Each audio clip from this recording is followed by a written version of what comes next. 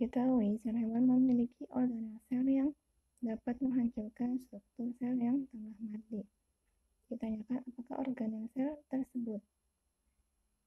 Nah, sel hewan dan sel tumbuhan ini termasuk ke dalam golongan sel eukariotik, yaitu sel mempunyai membran inti sel dan sistem endomembran.